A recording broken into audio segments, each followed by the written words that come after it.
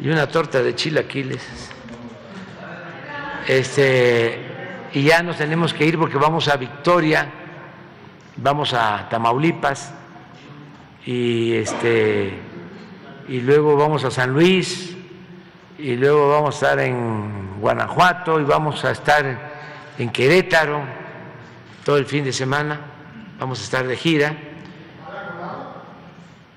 Eh, no, voy a la conmemoración de la Constitución del 17 a Querétaro, eso es el domingo, 5 de febrero.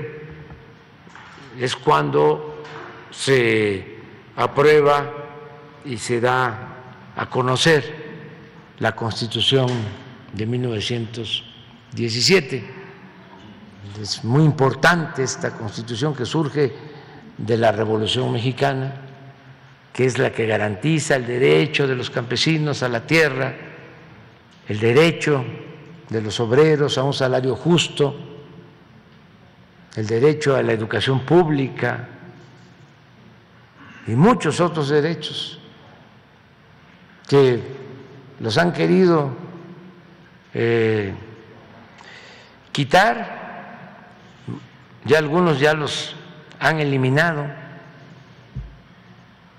pero sigue el espíritu y en algunos casos también la letra que se escribió por los constituyentes de 1917, 16 y 17, porque tardaron ahí en Querétaro un tiempo, como 70 días.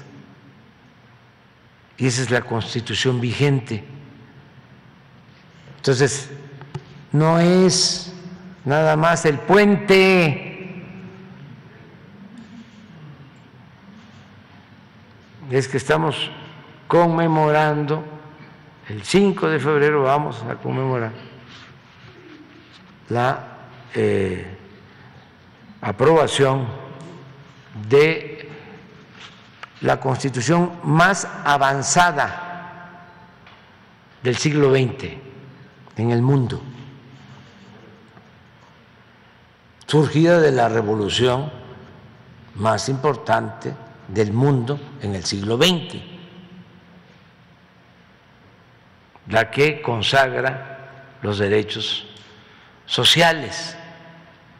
Nada que ver con la política neoliberal o neoporfirista, es lo opuesto. Todo lo que defendieron en 34 años los gobiernos que se padecieron en nuestro país. Toda esa política.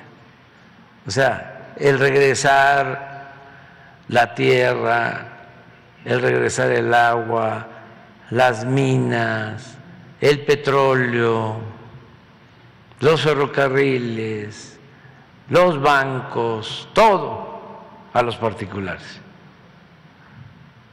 Y hacer a un lado lo público y desde luego marginar al pueblo, estableciendo un régimen oligárquico disfrazado de democracia. Pero ya cambiaron las cosas.